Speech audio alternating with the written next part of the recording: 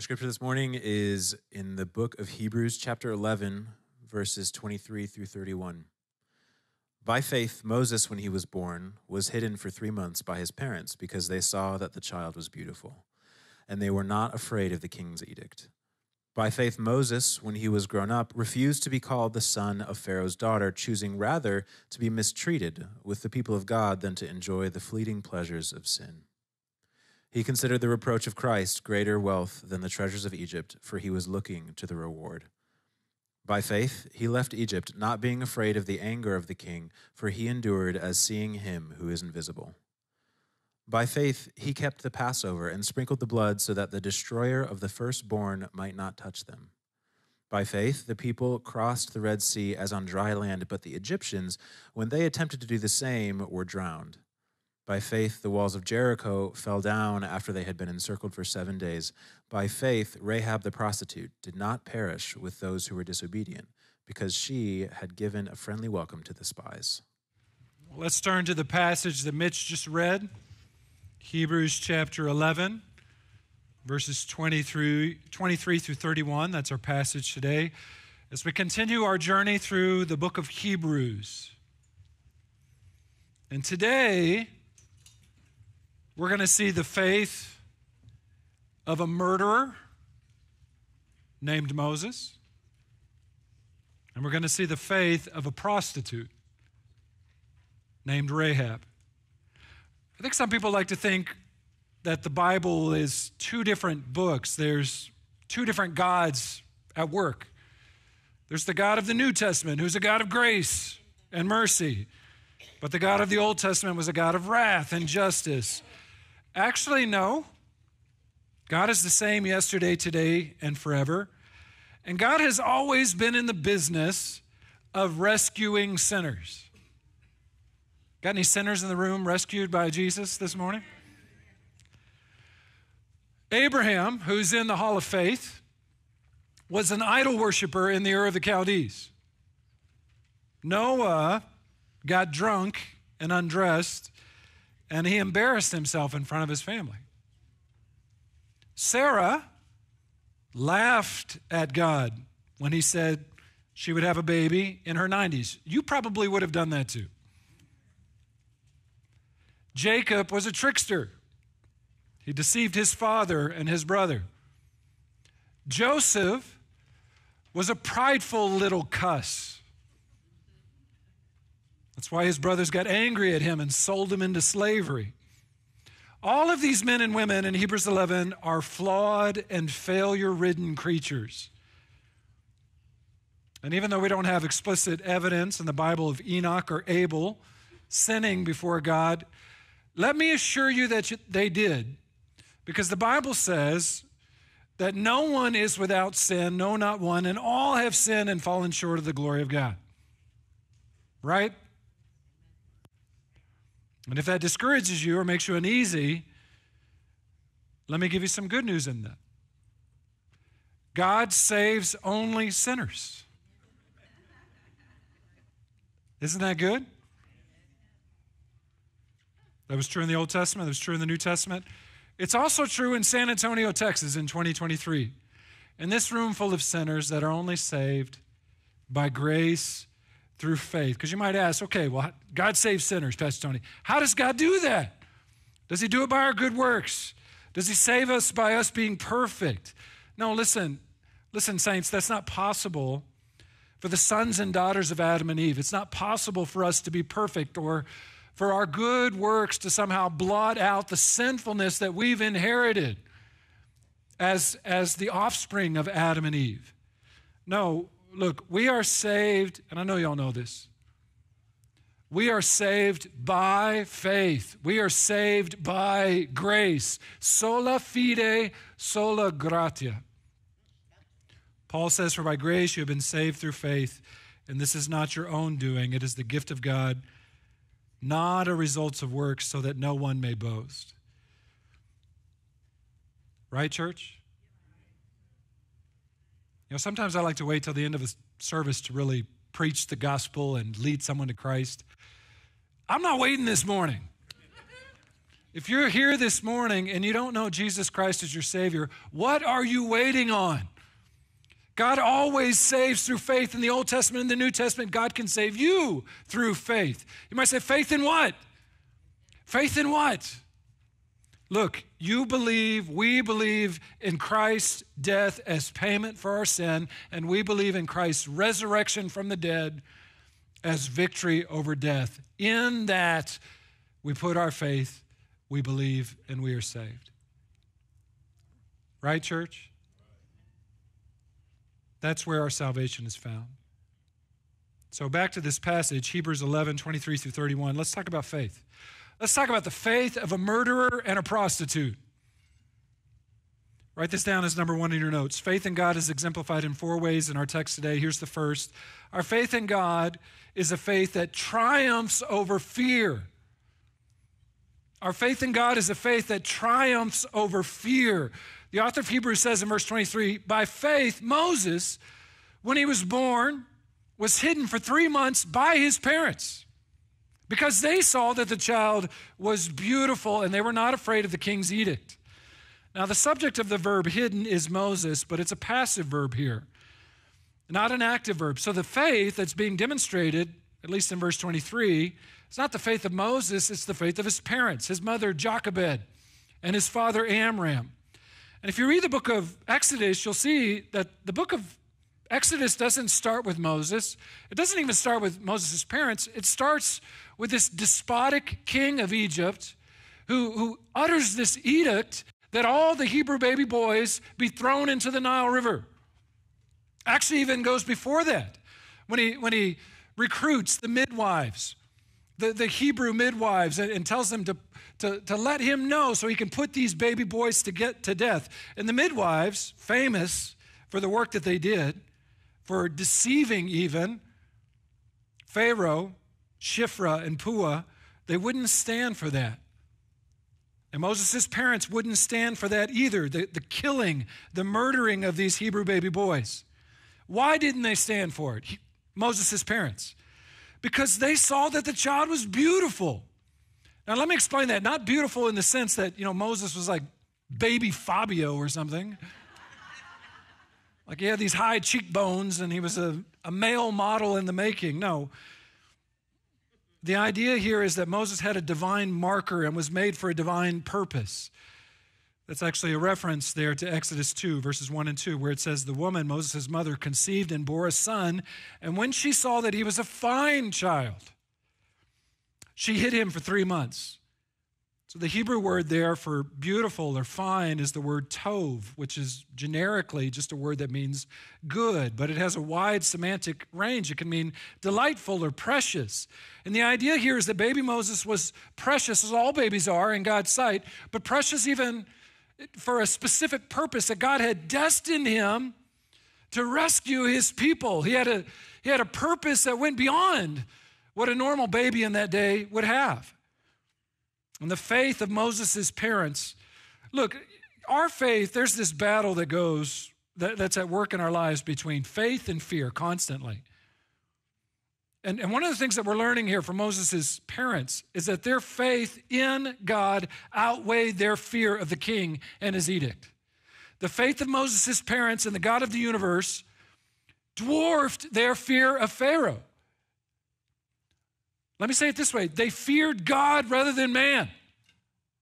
And that, that faith in God and their fear of God led them to preserve their child alive. And they hid that child for three months. Speaking of fearing God more than man, Jesus said this. So do not fear those who kill the body but cannot kill the soul. Y'all heard this before? Rather, fear him who can destroy both soul and body in hell. The worst thing that people can do to you in this world, the worst thing that that Pharaoh could have done to them was kill them. But they, they can't touch this soul. That belongs to God. And because of that, faith in God ultimately triumphs over the fear of man. By the way, I'll just say this because we're dealing with an instance in the Old Testament where there was civil disobedience. These parents of Moses disobeyed the edict of the Pharaoh. So did those Hebrew midwives. And, and I'll just say, so you know, you can hear your pastor say it this morning. There is a time for civil di- disobedience for Christians. There is. There's a time when our faith requires us to disobey governing authorities. You know, if doctors in our country are mandated to violate the Hippocratic Oath, or to kill babies in the womb, or to prescribe puberty blockers for children, or to mutilate the flesh of healthy people, they must object to that. We must obey God rather than men. There's a time for civil disobedience. I mean, this is a room full of Texans, so we're all like, Amen, yeah.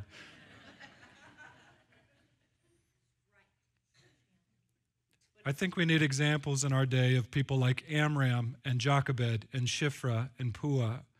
Now, now let me just qualify that just a little bit, okay? Because what do we see in Hebrews 23 and in the book of Exodus? You know, the faith that these Israelite people had, it, it wasn't a reckless kind of faith. They weren't running out in the street saying, We defy the Pharaoh. Here's our baby. No, it was wiser than that. It was shrewder than that.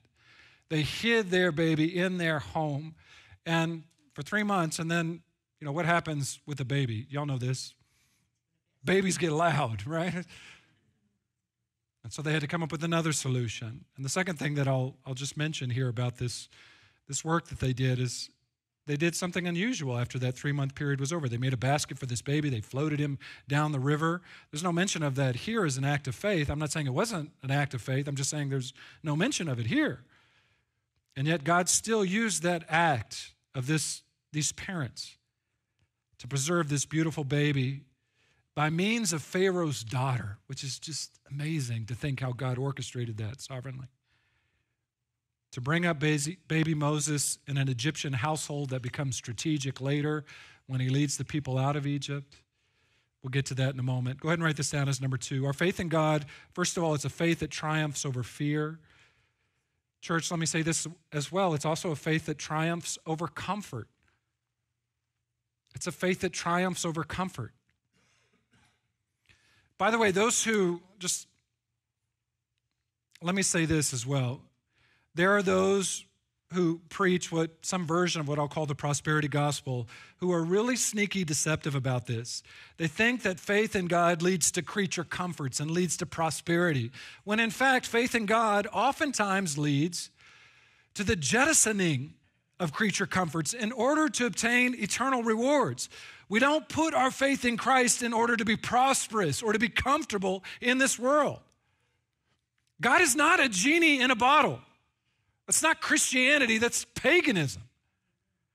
And, and true faith in God triumphs over the human desire for comfort. Case in point, Moses in the Old Testament. Now, just, just a nota bene here because, I mean, we can see examples of this in the New Testament. That, that comfort wasn't really what resulted from people who put their faith in Christ. You know, Paul was thrown into prison multiple times for his faith in Christ. He died a martyr's death. Peter was crucified upside down, according to church history. The Apostle James got put to death by King Herod Agrippa in Acts 12. And not just in the New Testament, but in church history. The church father, Polycarp, was burned at the stake for his faith in Christ. Two Christian women, Perpetua and Felicity, were killed by wild beasts in the Colosseum for their faith in Christ. The second century theologian and apologist Justin Martyr was beheaded by the Roman Empire for his faith in Christ. And we don't have time to mention Jan Hus, Hugh Latimer, William Tyndale, Dietrich Bonhoeffer, Jim Elliot, and others. This is what bothers me about prosperity preachers. Do they even read the New Testament? Have they even read church history? And they talk about the Old Testament, they talk about the prosperity of Abraham. Let's talk Old Testament. Let's talk about Moses. Look at verse 24. By faith, here's Moses, when he grew up, when he was grown, he refused to be called the son of Pharaoh's daughter. Why would he do that? Why would he give up that privilege? Because he was a Hebrew. He was a God fearing Israelite. Even though he was raised in Pharaoh's household, he was nursed by his mother. And we see this in Exodus. And, you know, wouldn't you think that Mama, Jochebed, as, as she was nursing and raising up Moses as he was growing up in this palace, would have told him about the God of Abraham, Isaac, and Jacob? And would have said, okay, you might live in the palace with Pharaoh and his daughter, but you belong to us. You belong to the Hebrews. You belong to the God of the Hebrews. And therefore, in light of that, Moses, look at verse 25, chose rather to be mistreated with the people of God rather than to enjoy the fleeting pleasures of sin. Moses could have had riches. Moses could have had luxury. Moses could have had wives and mistresses and concubines, the pleasures of sin. Moses could have enjoyed the benefits of having slaves like the other Egyptians. He could have lived a life of luxury, rejecting God and the people of God that he ethnically belonged to. But he gave that up. Why would he give that up? Here's why because of verse 26. Because he considered the reproach of Christ greater wealth than the treasures of Egypt, for he was looking to the reward. He was looking to something better than the treasures of this world. Listen, church, this is an amazing verse, verse 26. Is everybody, everybody with me? Verse 26? Don't move past this too quickly. He, Moses, considered the reproach of Christ. Y'all see that? Greater wealth than the treasure of Egypt. For he was looking forward to the reward. Now, three things about verse 26. This is the only place in the entirety of Hebrews 11 where Jesus or Christ are mentioned, which is amazing to me because the author of Hebrews has spent 10 chapters talking about Christ. Christ is better, he's better, he's better, he's better, Christ, Christ, Christ. And then all of a sudden, Hebrews 11, it's like it goes radio silent on Christ and he's just talking about faith, faith, faith, faith. And then we have this little moment here. We have this moment when he's talking about Moses, when he says that Moses considered the reproach of Christ that was, that was wrapped up in this Old Testament identity of, of following Yahweh. And it's just a little reminder here that Christ is in the background of all of this in Hebrews 11. He's in the background of all of this talk about faith with Old Testament saints. In fact, the author of Hebrews in chapter 12, he's going to draw a line between the faith of those Old Testament peoples and Jesus, our Savior. We'll get to that in a few weeks. So even though there's just an offhanded mention of Christ here, he's implicit all the way throughout Hebrews 11. The second thing I want to say about verse 26 is in reference to this, this statement, the reproach of Christ. What does that mean that Moses considered the reproach of Christ greater than the treasures of Egypt? What does that mean? That he was reproached like Christ. Well, the word Christ in Greek is Christos. It means the anointed one. It's synonymous with the Hebrew Messiah or Mashiach. And it has the idea here that Moses took on the reproach of the anointed one.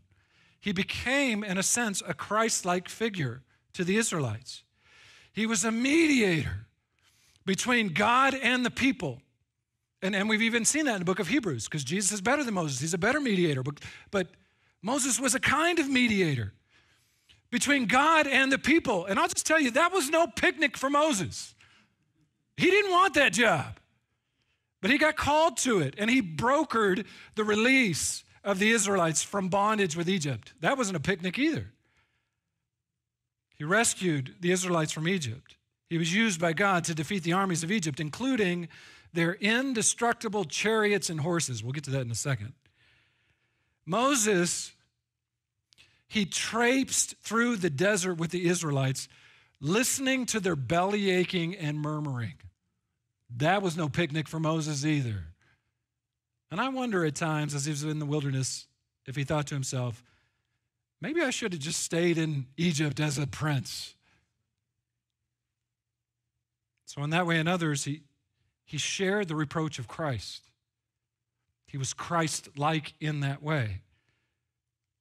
And thirdly, let, let, me just answer this question why would he do this? Why, why didn't he go back to Egypt?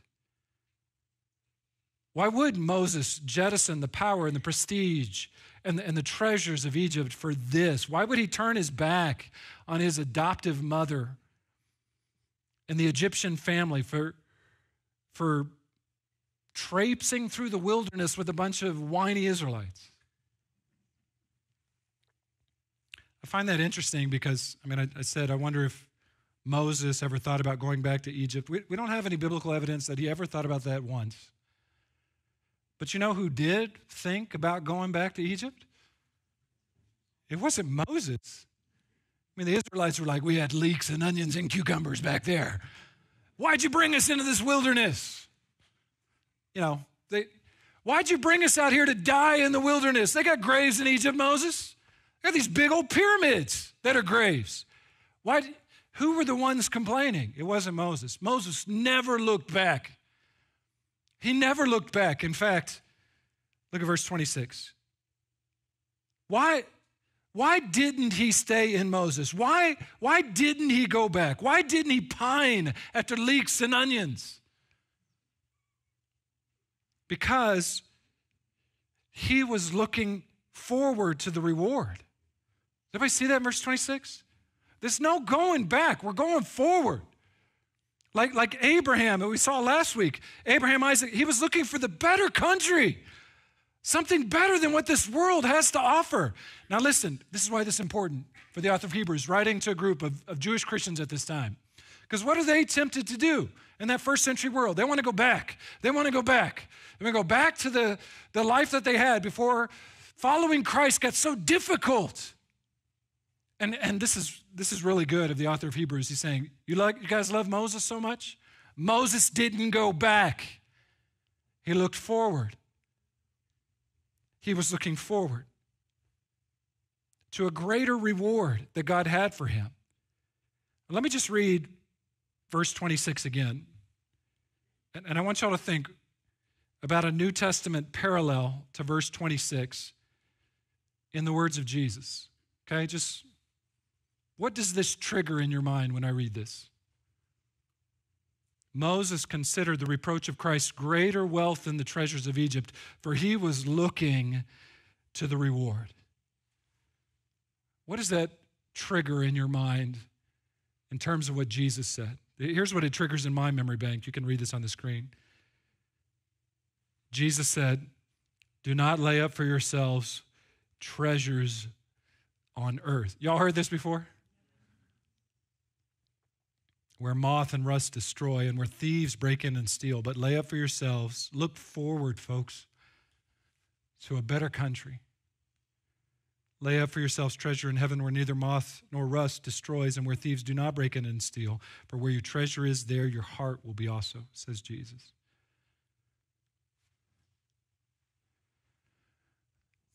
So faith in God, it triumphs over fear, it triumphs over comfort. Go ahead and write this down as number three. It also triumphs over human power. Our faith in God is a faith that triumphs over human power. Let's talk about the Exodus. Can we? I love the Exodus. I've loved the Exodus ever since I first heard Charlton Heston say to Yul Brynner, let my people go. Let's talk about the Exodus. Look at verse 27. By faith, he, Moses, left Egypt, not being afraid of the anger of the king, for he endured as seeing him who is invisible. Now, some people think that this is a reference to Moses when he left Egypt the first time to go to Midian, when he, when he got married and when he lived out there in the, the wilderness for 40 years. That's possible. But I honestly don't know how to square this with the statement in the book of Exodus where Moses was actually afraid of Pharaoh, and that's why he left. If you remember, Moses killed an Egyptian who had been persecuting a Hebrew, and then word started to circulate about what had happened. And, and you know, because of fear and because Pharaoh came after him, Moses had to hightail it out of Egypt. So I, I don't think this is talking about that leaving. But, but here's the thing Moses had two leavings of Egypt. One leaving he came back from. The first one actually was in fear, the second one was in faith. So when I read by faith he left Egypt, I don't see the first leaving, I see the second leaving. When Moses led the Israelites out of Egypt for good. Because when, the, when Moses led the Israelites out of Egypt during the Exodus, you know, he was supremely confident in the Lord. It took a while for him to get there, but he was supremely confident in the God of the Israelites. And with good reason, you know, because God, the God of the Israelites had un- unleashed these devastating plagues on the land of Egypt, and, and the, their land was decimated by the time that he left. So Moses wasn't afraid of the king. He wasn't afraid of the Pharaoh he could see. He rightly feared the God who he couldn't see. Notice the, the irony in this statement in verse 27. For he endured, Moses endured as seeing him who is invisible. He saw, so to speak, the invisible God. I mean, that, that reminds me of Hebrews 11 1. Faith is the assurance of things hoped for, the conviction of things not seen. He had more fear, he had more faith, he had more confidence in the king he couldn't king he couldn't see than the king he could see, Pharaoh. And that's right. That's right. And Moses left Egypt with a bunch of Israelites believing in this God whom he couldn't see. I mean, there are these instances where Moses saw a glimpse of God. I understand that, metaphorically speaking. Even there's that moment when God put Moses in the cleft of the rock and saw some aspect of God's glory. But y'all need to know that was just, just some part of God's glory. No man can see God really and live. I mean, if, if Moses or any of us had seen God in all of his glory, we would have been, we've just been eradicated in that moment by the power of his glory. So, yes, Moses, in a way, saw God, but in, in a more profound way, way, he endured as seeing him who is invisible. And Moses' faith continued. Look at, look at verse 28. By faith, he kept the Passover and sprinkled the blood so that the destroyer of the firstborn might not touch them.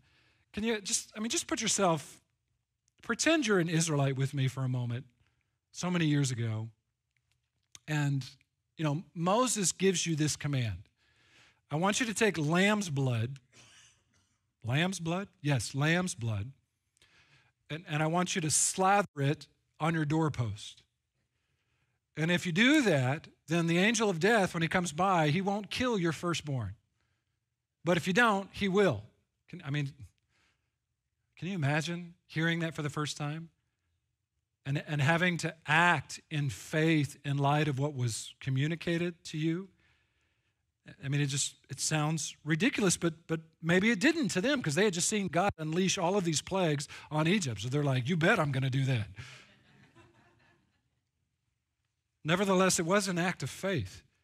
The ones, listen, the ones who had their doorposts smeared had their firstborn sons spared. And the ones who didn't, didn't.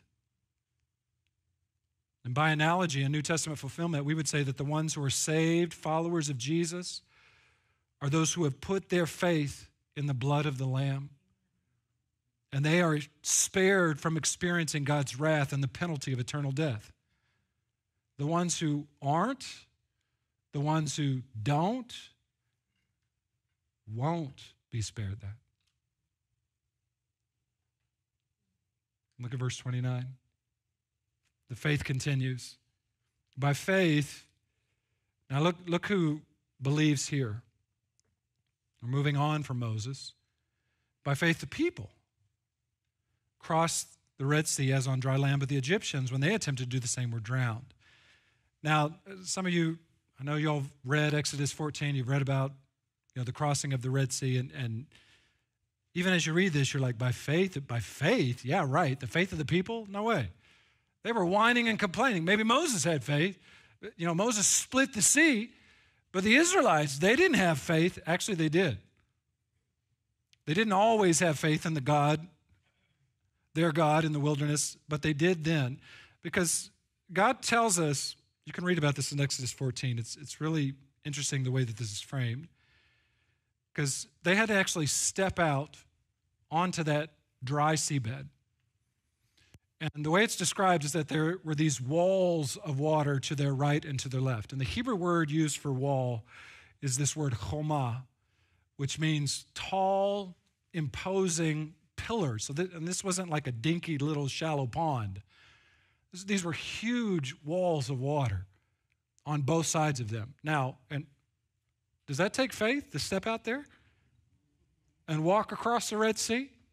You could die at any moment. You could die at any moment.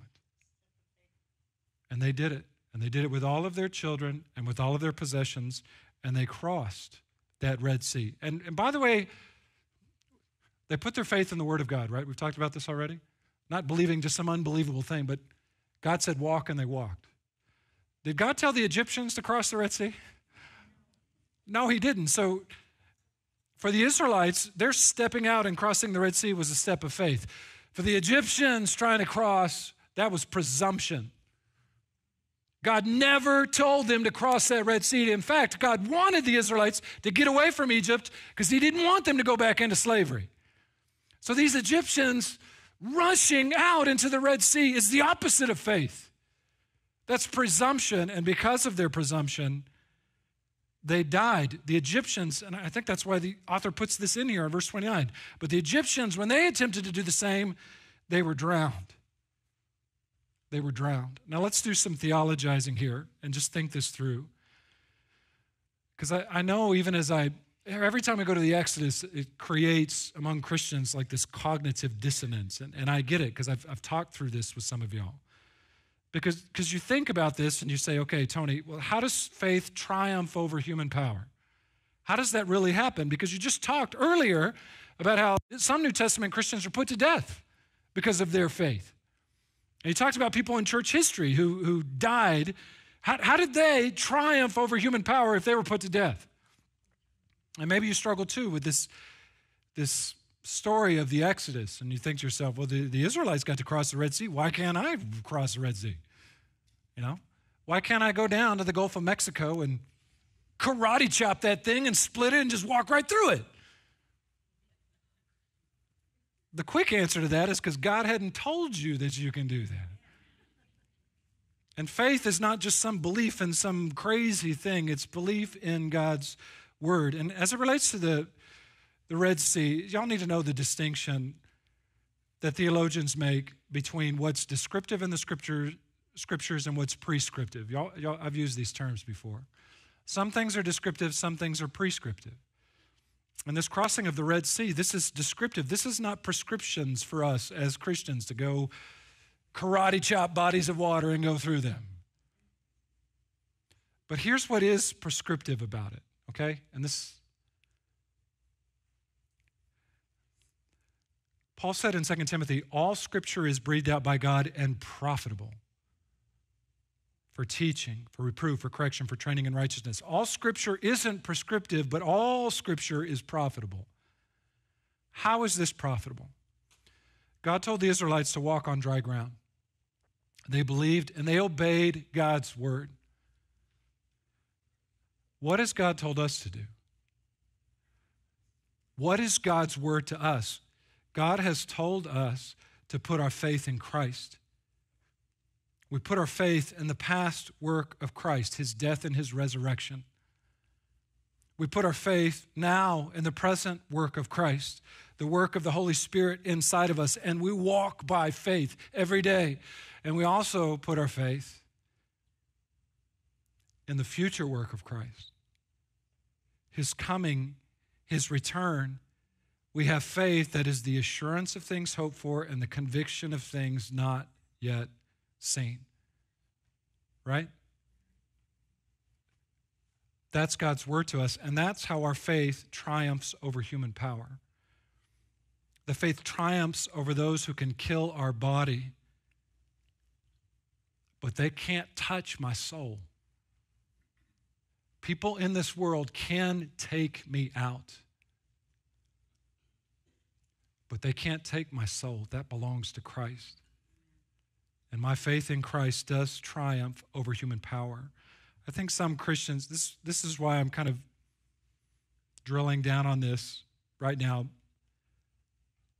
because I see Christians all the time who struggle with what I call over realized eschatology. Have I used that term before here? Just turn to your neighbor right now and tell them over realized eschatology. Christians who think that heaven is a place on earth now. I call this also the, the Belinda Carlisle complex. Because too many Christians think, ooh, heaven is a place on earth. And they want it now. They want peace now. They want suffering to go away now. They want deliverance now. They want rest now. They want pleasure now. They want comfort now. They want sinlessness now. They want security now. They want hardships to cease now. They want tears to evaporate now.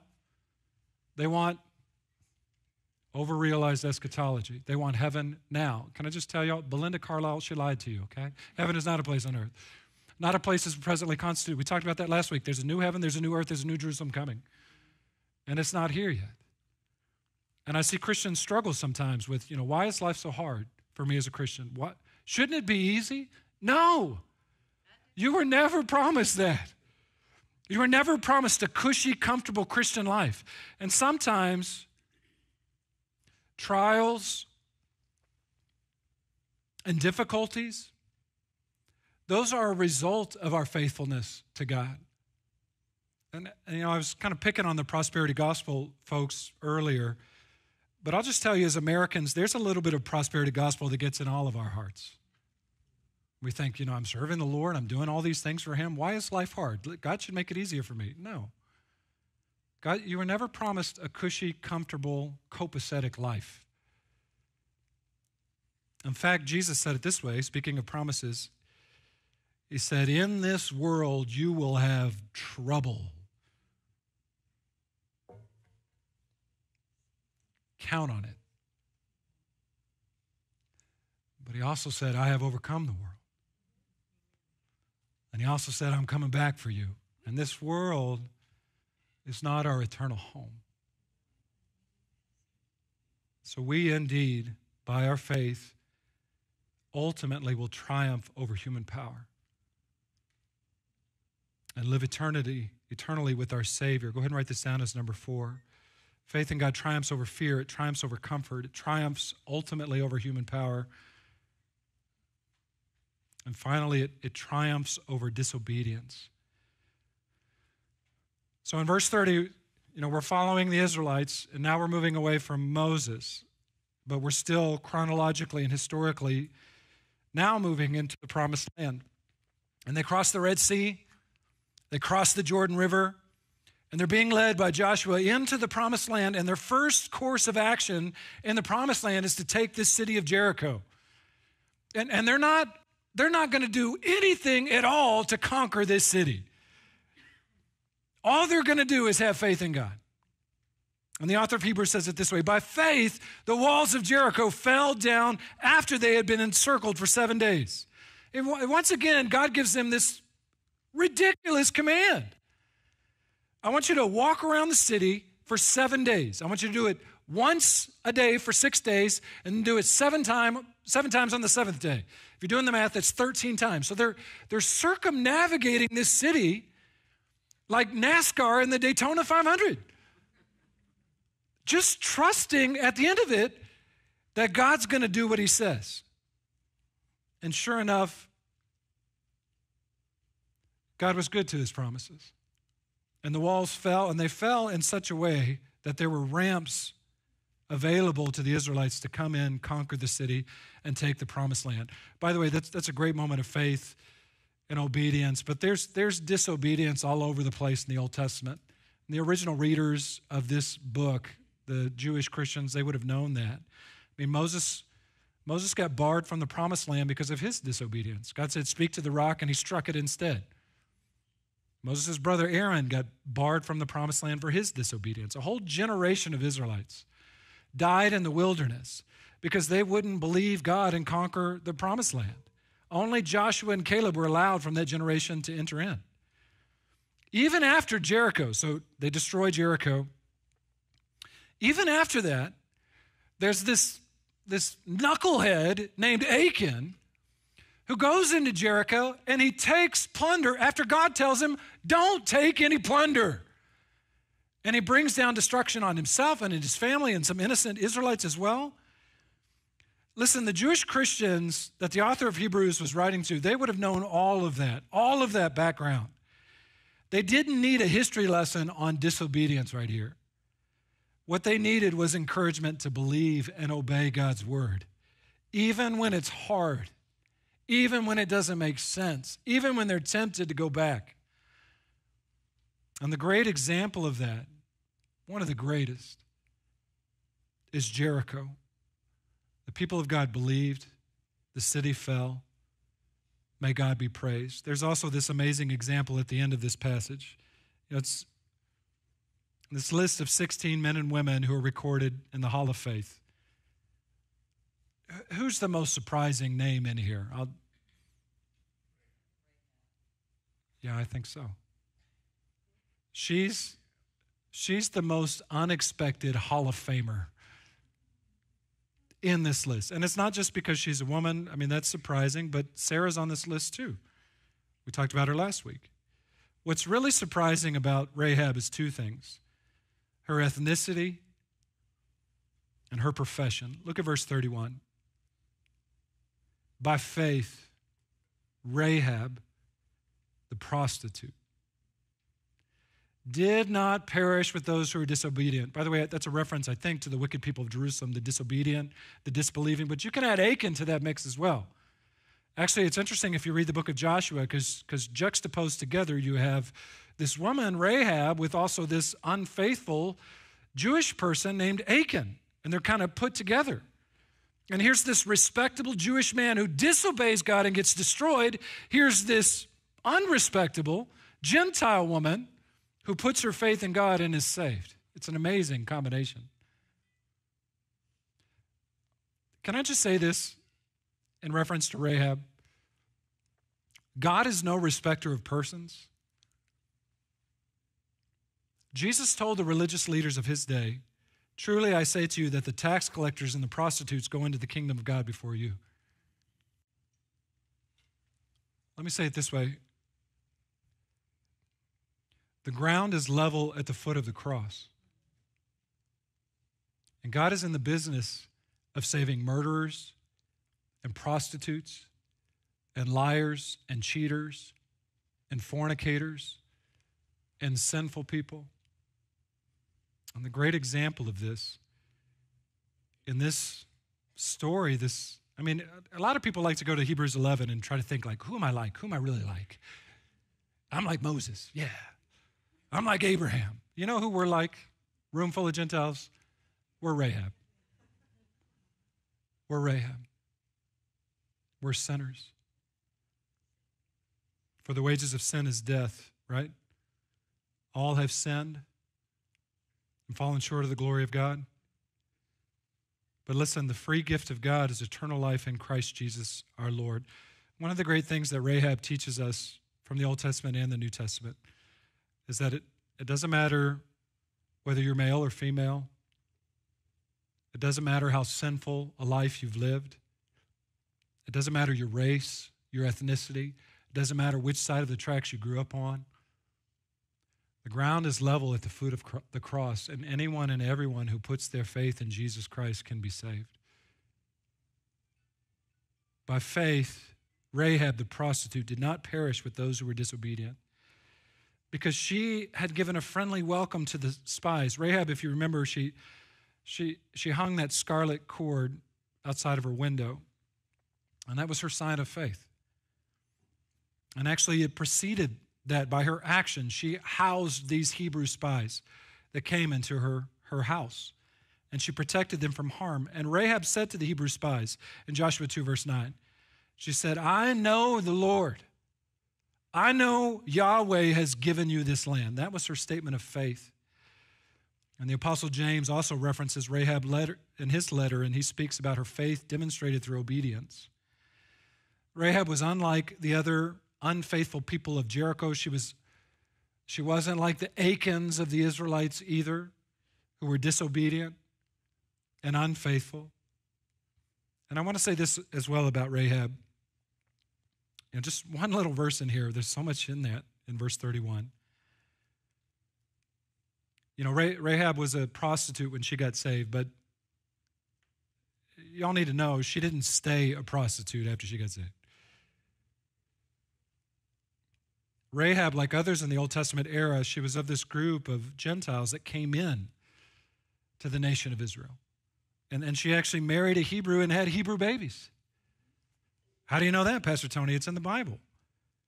Rahab, she's listed in the genealogy of David. She's the mother of Boaz from the book of Ruth. She even, brace yourselves for this, she's even mentioned in the genealogy of Jesus in Matthew chapter 1. Jesus has Gentiles in his genealogy, Pastor Tony? Yeah, he does. He has at least three Ruth the Moabitess, Tamar the Canaanite, and Rahab the Canaanite. Jesus has a prostitute in his genealogy? Yes, he does. Wrap your minds around this. One of Jesus' ancestors was a madam in a bordello. She was a sinner. Can I let y'all in on a little secret? All of the people in Jesus' genealogy are sinners.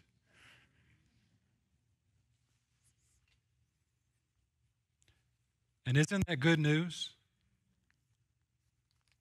for a room full of Gentile sinners? Jesus only redeems sinners.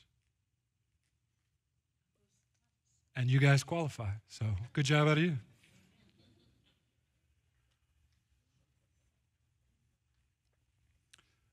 We're going to celebrate and remember this in communion in just a moment.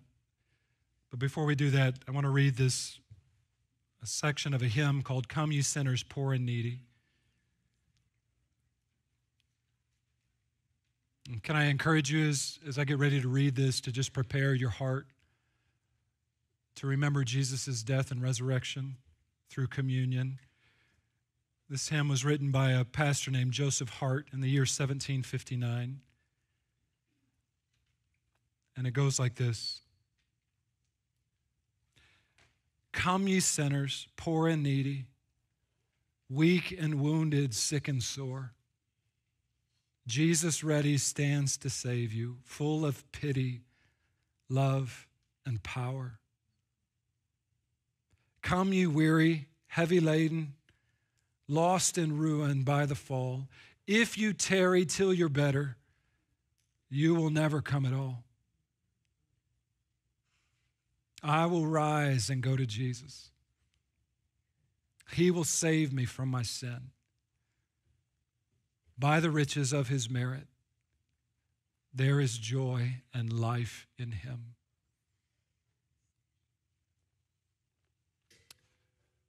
Ushers, if you would, let's prepare ourselves for communion. Pray with me, church.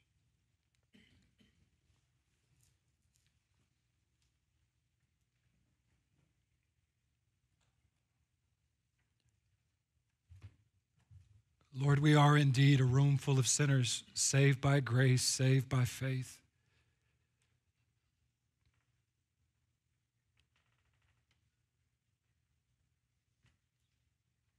And Lord, I never stop marveling.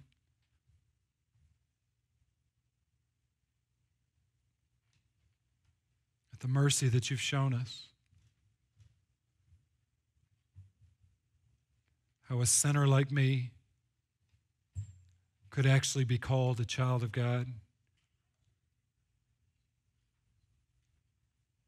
can be redeemed and restored to relationship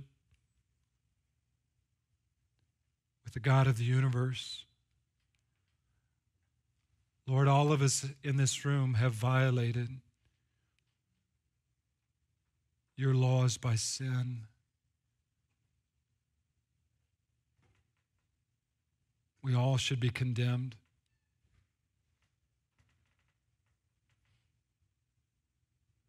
And yet, God, in your goodness and in your love for us, you sent your Son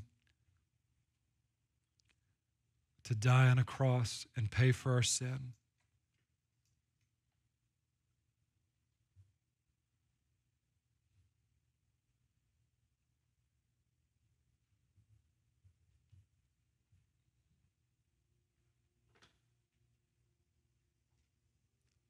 Lord, we believe.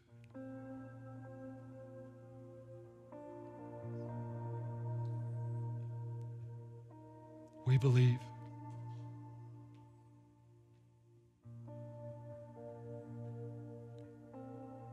We believe that Jesus is our Savior, that He died for us.